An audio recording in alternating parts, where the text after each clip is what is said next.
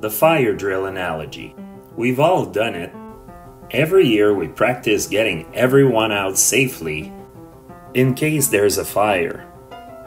The fire drill lets everyone know where they should be going, how they should get there, how to behave while getting there, and what to do once everyone is there.